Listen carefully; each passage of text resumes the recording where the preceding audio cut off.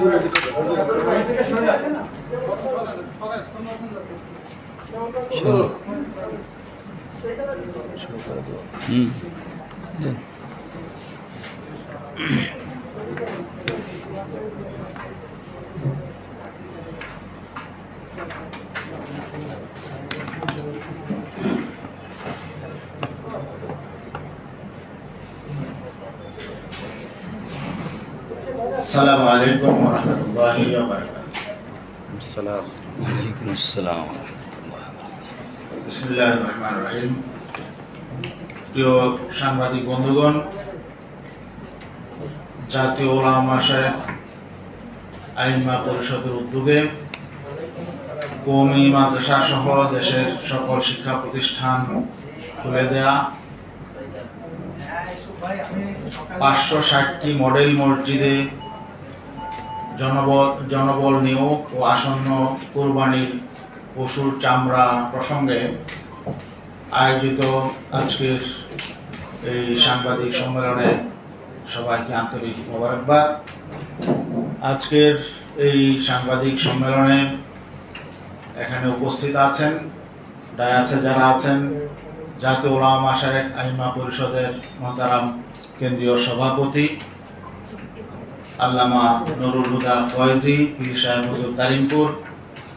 আরও উপস্থিত আছেন জাতীয় ওলামা শায়েখ আইমা পরিষদের সহ সাধারণ সম্পাদক যুগ্ম সাধারণ সম্পাদক শাইখুল হাদিস, আল্লামা হেমায়তুল্লাহ কাসিমি, মুফতি হেমায়তুল্লাহ কাসিমি উপস্থিত আছেন জাতীয় ওলামা শায়েখ আইমা পরিষদের কেন্দ্রীয় সাংগঠনিক সম্পাদক মাওলানা কামাল উদ্দিন সিরাজ উপস্থিত আছেন জাতীয় ওলামা আইমা পরিষদের ঢাকা মহানগর দক্ষিণের সভাপতি ও কেন্দ্রীয় নির্বাহী পরিষদের সম্মানিত সদস্য মাওলানা ইউনুস ঢালি উপস্থিত আছেন জাতীয় ওলামা আইমা পরিষদের জাতীয় নির্বাহী পরিষদের অন্যতম সদস্য, বিশিষ্ট আলিমুদ্দিন মুফতি ওলিউল্লাহ আরও উপস্থিত আছেন জাতীয় ওলামা শায়েখ আইমা পরিষদের কেন্দ্রীয় সাংগঠনিক সম্পাদক মুফতি আশরাফ আলী নুরি। উপস্থিত আছেন জাতীয় ওলামা শায়েখ আইমা পরিষদের কেন্দ্রীয় নির্বাহী পরিষদের অন্যতম দায়িত্বশীল মাওলানা বাসির উদ্দিন মাহমুদ। উপস্থিত আছেন মাওলানা অন্যতম কেন্দ্রীয় দায়িত্বশীল মাওলানা লোকমান হোসেন জাফরি। উপস্থিত আছেন মাওলানা জাতীয় পরিষদের অন্যতম সদস্য মাওলানা গোলাম মর্তুজা উপস্থিত আছেন জাতীয় ওলামা শাখা ইমাম পরিষদের কেন্দ্রীয় মিডিয়া বিষয়ক সম্পাদক মাওলানা রফিকুন নবী এবং উপস্থিত আছেন মাওলানা কেন্দ্রীয় দায়িত্বশীল মাওলানা শাহজাহান হাবিবি এবং অন্যান্য দায়িত্বশীলগণ উপস্থিত আছেন। এখনই আজকের এই সাংবাদিক সম্মেলনে লিখিত বক্তব্য উপস্থাপন করবেন।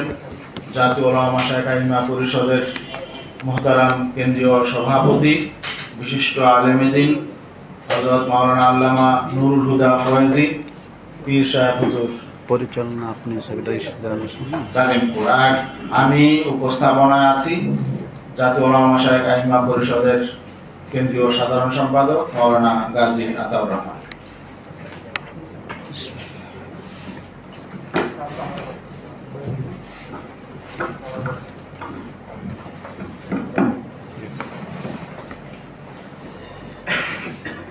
نحمده ونصلي على رسوله الكريم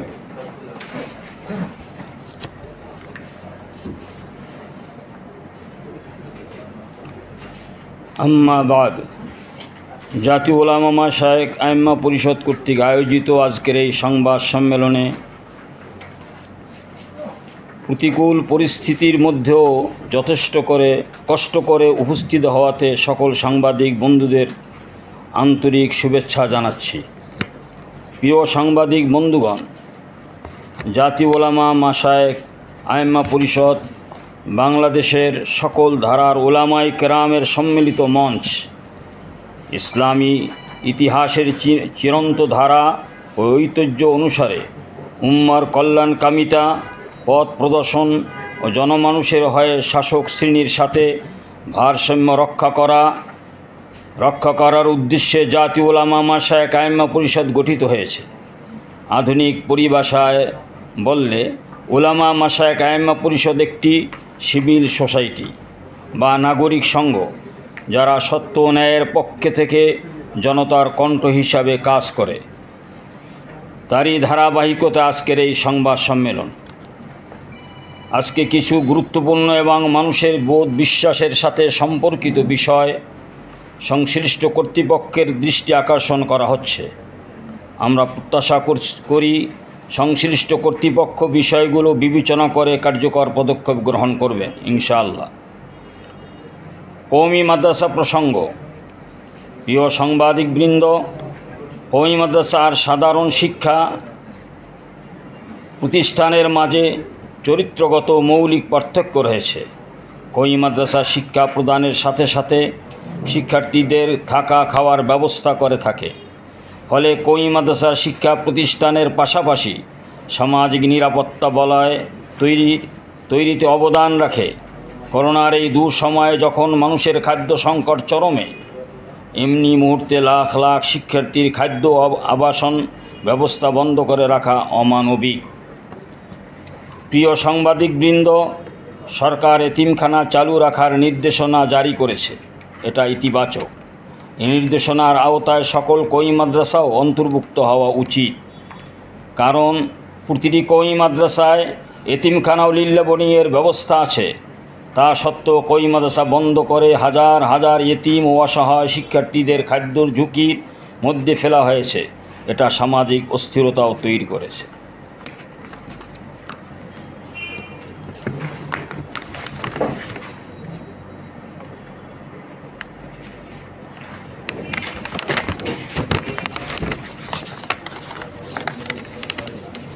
এ সকল মানবিক ও সামাজিক অবস্থান বিবেচনায় বিবেচনায় নিয়ে দেশের সকল কইমাদ্রাসা খুলে দেওয়ার মাধ্যমে লাখ লাখ শিক্ষার্থী, এতিম অসহায় মানুষের আবাসন ও খাদ্য ব্যবস্থা নিশ্চিত করার জোর দাবি জানাচ্ছি। প্রিয় সাংবাদিকবৃন্দ, শিক্ষা প্রতিষ্ঠানিক শিক্ষার পর- প্রা- প্রাতি- প্রাতি- প্রাতিষ্ঠানিক আয়োজন করার মূল্য, মূল লক্ষ্যই হল সকল শিক্ষার্থীর প্রতিষ্ঠান থেকে পূর্ণাঙ্গ শিক্ষা পাবে। বাংলাদেশের শিক্ষা ব্যবস্থার অন্য ধারাগুলো এই লক্ষ্য থেকে অনেকটাই বিচ্যুত। প্রাইভেট পড়ানো, কোচিং ও নোট ব্যবস্থার দৌরাত্ম্য শিক্ষা ব্যবস্থায় সর্বজন বিদিত বেধি। অপরদিকে কই মাদ্রাসা এখনও প্রাতিষ্ঠানিক শিক্ষার আদর্শ মান ধরে রেখেছে। একমাত্র কই মাদ্রাসাতেই সকল শিক্ষা প্রাতিষ্ঠানিকভাবে দেওয়া হয়। এখানে কোনো প্রাইভেট পড়ানো কোচিং ও নোট বাণিজ্য হয় না। শিক্ষকগণ পুরোপুরি প্রতিষ্ঠানের মনোনিবেশ করেন এবং তাদের আয় উপার্জনও সম্পূর্ণভাবে প্রতিষ্ঠান বেতন বা তার উপর নির্ভর করে। বর্তমানে প্রতিষ্ঠান বন্ধ থাকার কারণে তাদের আয় উপার্জন সম্পূর্ণরূপে বন্ধ হয়ে গেছে, হয়ে আছে। উপার্জনের জন্য বারোয়ারি দান্দা না করে প্রতিষ্ঠানিক শিক্ষায় একনিষ্ঠতার এই শুদ্ধবাদিতাই যেন কৌমি শিক্ষকদের জন্য কাল হয়ে দাঁড়িয়েছে। আমরা সরকারের কাছে জোর দাবি জানাচ্ছি, নির্ভেজাল শিক্ষানি, শিক্ষানিষ্ঠ শিক্ষকদের শিক্ষানুরাগকে সম্মান করে এবং তাদের মানবিক দিক বিবেচনা করে অবিলম্বে সকল কৈমাজা খুলে দিন। পাশাপাশি স্বাস্থ্য সুরক্ষা নিশ্চিত করে কার্যক্রমে স্কুল পর্যায়ক্রমে। স্কুল কলেজ বিশ্ববিদ্যালয় সহ দেশের সকল শিক্ষা প্রতিষ্ঠান খুলে দিয়ে ছাত্রছাত্রীদের লেখাপড়ার স্বাভাবিক পরিবেশ ফিরিয়ে দিন। মডেল মসজিদ প্রসঙ্গে সারা দেশে পাঁচশত ষাটটি মডেল মসজিদ নির্মাণ প্রজেক্টে প্রজেক্টকে আমরা সাধুবাদ জানাই। এমন একটি মহৎ কাজের জন্য বর্তমান সরকার ও মাননীয় প্রধানমন্ত্রী অবশ্যই ধন্যবাদ পাওয়ার যোগ্য। একই সাথে মডেল মসজিদগুলোকে সব দিক থেকে মডেল মসজিদ রূপান্তর করা এবং মসজিদ সামাজিক সুফল নিশ্চিত করতে বিজ্ঞ ওলামাই কেরামের সাথে পরামর্শ করে আমরা সুনির্দিষ্ট কিছু প্রস্তাবনা পেশ করছি।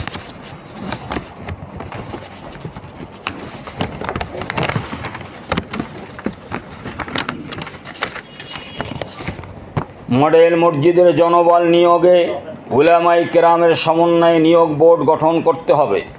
যাতে অনৈতিক পন্থা অবলম্বন এবং কোনো রকম দুর্নীতি ছাড়াই যোগ্য ব্যক্তিদের নিয়ে নিশ্চিত করা যায়। নিয়োগ নিশ্চিত করা যায়। মডেল মসজিদের ইমাম, মুয়াজ্জিন ও খাদেমের জন্য যে বেতন কাঠামো প্রস্তাব করা হয়েছে, তা রীতিমতন অসম্মানজনক ও বৈষম্যমূলক। ইমাম পদের যোগ্যতা হিসেবে হাফেজ দাওরা কামিল মুফতি মহাদ্দিস চাওয়া হয়েছে। মাস্টার্স ও উচ্চতর ডিগ্রির বিপরীতে যে বেতন কাঠামো প্রস্তাব করা হয়েছে, তা কিছুতেই সুবিবেচনা প্রসূত নয়।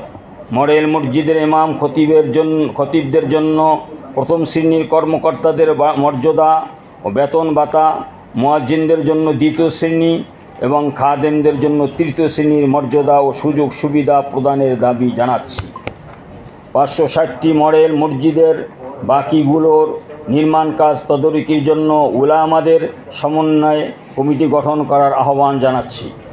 কারণ মসজিদ নির্মাণ ইতিমধ্যেই দুর্নীতির কথা শোনা যাচ্ছে। কারণ মসজিদ নির্মাণে ইতিমধ্যেই দুর্নীতির কথা শোনা যাচ্ছে, যা দুঃখজনক। এখানে প্রসঙ্গত মসজিদ আল্লাহর ঘর। আমরা আশা করতে চাই এই মসজিদ কেবলমাত্র আল্লাহ সন্তুষ্টির জন্যই নির্মাণ করা হয়েছে। সেজন্য আমরা আশা করব এই মসজিদকে দলীয় রাজনৈতিক প্রচারণার উপাদান বানানো হবে না। যদি এখলাস থাকে, তাহলে হাজার বছর পরেও মানুষ এর নির্মাতাকে মনে রাখবে আর রাজনৈতিক দুর্বিসন্ধি থাকলে মসজিদ, মসজিদে জেরারের ইতিহাস মনে করিয়ে দিতে চাই। কোরবানির চামড়া। এদেশ মুসলমান প্রধান হওয়ার, হওয়ায় পবিত্র ঈদ উল আজহার সময় প্রচুর গরু, ছাগল কোরবানি হয়। এছাড়া সারা বছরই এসব পশুর গোস্ত ক্রয় বিক্রয় হয়ে থাকে। ফলে দেশের চামড়ার উৎপাদন ও সরবরাহ ক্রমেই বাড়ছে। উনিশশো নব্বই পরবর্তী সময়ে ওয়েট ব্লু উপাদানের সীমিত পরিসর পেরিয়ে ক্রাস্ট ও ফিনিশ লেদার জুতা, ব্যাগ ও অন্যান্য চামড়াজাত পণ্য উৎপাদনের মাধ্যমে চামড়া খাতের রপ্তানিতে পণ্য বৈচিত্র্য হয়েছে। বাংলাদেশের চামড়া ও চামড়াজাত পণ্য বিদেশেও পরিচিতি পায় ও দ্বিতীয় বৃহৎ রপ্তানি পণ্য হিসাবে পরিণত, পরিগণিত হয়। কিন্তু বিগ- বিগত কয়েক বছর ধরে সরকারের ভুল নীতি ও সিদ্ধান্তহীনতা রপ্তানি আয়ের দিক থেকে দ্বিতীয় স্থান হারিয়ে চামড়া খাত তৃতীয় স্থানে এসে নেমে এসেছে।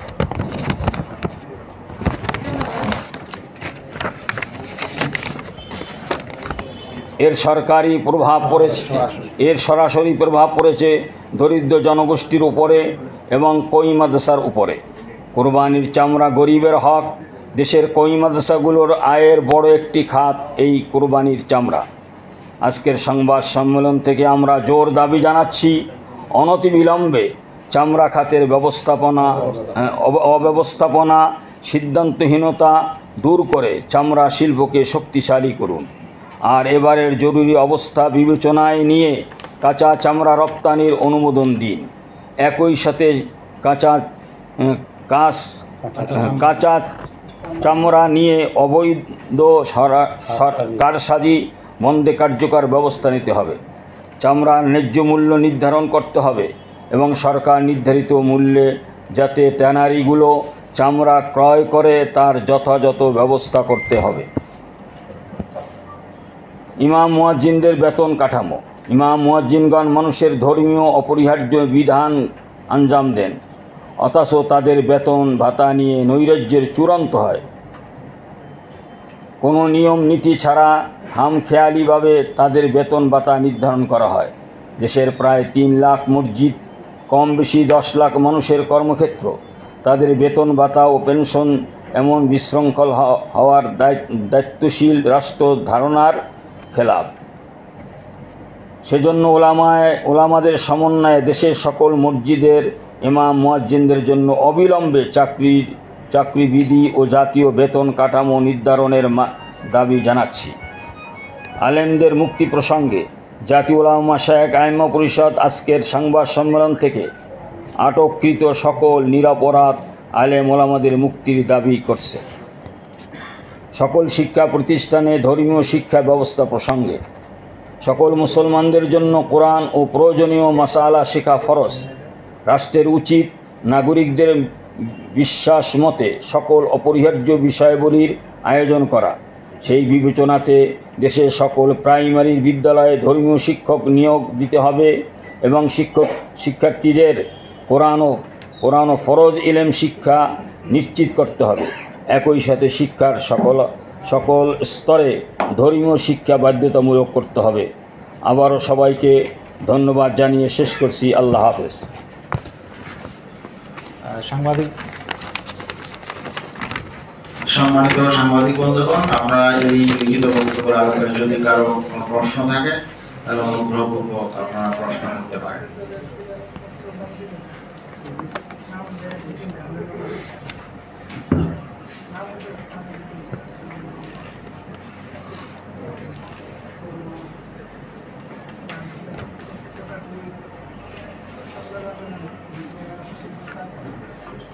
কারও কোনো প্রশ্ন মনে হয় নেই।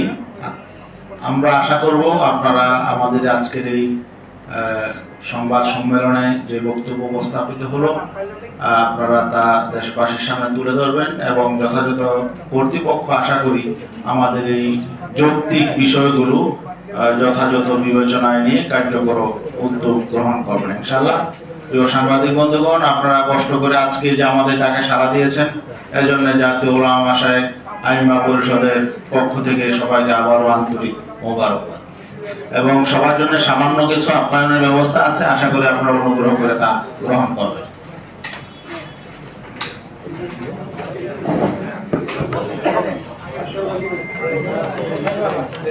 প্রশ্ন নেই তারা কোনো প্রশ্ন নেই তাই আইটেম তো তো কোনো বাড়ি আইটেম না। অমন কোনো কিছু না।